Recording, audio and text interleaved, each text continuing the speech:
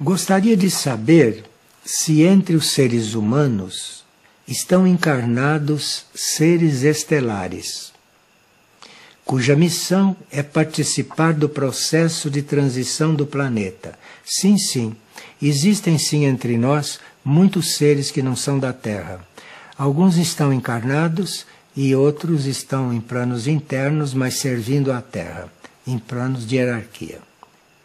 E claro, que na transição do planeta esses seres vão ser de muita valia, porque eles vieram para isso e eles têm, são os únicos que têm uma experiência que pode valer naquele momento.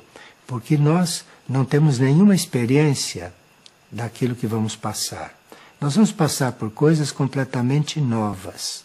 Então não saberemos resolver nenhum daqueles problemas que vão acontecer. Então existem sim seres humanos encarnados, eh, seres estelares e seres de outros planetas encarnados nos seres humanos. Só que esses seres são reais e não se fazem conhecer. Não se fazem conhecer porque seriam perseguidos e, no mínimo, aprisionados. De forma que os seres que estão aqui preparando esta transição e que farão as coisas que nós não sabemos fazer, esses seres existem sim, só que não se dão a conhecer. E se o despertar para o serviço nesses seres é um processo diferente do despertar humano? Bem, podem ser seres, seres humanos, mas são seres que têm uma noção diferente de serviço, têm uma noção de serviço planetário ou de serviço extraplanetário, para estarem entre nós, sendo básicos aqui em certos momentos, em certos momentos críticos, sem sequer se dar a conhecer. Então, isso são seres que são sim humanos como nós, encarnados, mas que têm um outro despertar espiritual, que estão em outro nível espiritual e que podem ficar fazendo todo este trabalho em absoluto silêncio e sem seres conhecidos, sem serem conhecidos. Quais são as relações kármicas desses seres junto ao planeta e a família terrena às quais eles podem pertencer, visto que ele veio de uma dimensão ou de um mundo superior.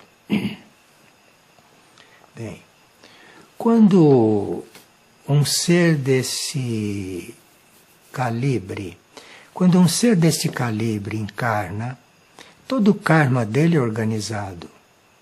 Tudo o ambiente onde ele vai aparecer, onde ele vai surgir, tudo isso é muito bem organizado. Então, estamos falando destes seres, não? é tudo muito bem organizado e as famílias aonde esses seres surgem são famílias também de almas que têm essa instrução. Quando essas famílias se formam aqui, esses seres já se entenderam lá em cima no espaço antes de se encarnarem e já vêm todos para uma determinada tarefa. E, portanto, um ser desse pode sim estar dentro de uma família. Mas isto não é uma família normal, mas é uma família onde existe já uma consciência, onde existe já uma consciência de seres que se unem para juntos servirem a humanidade.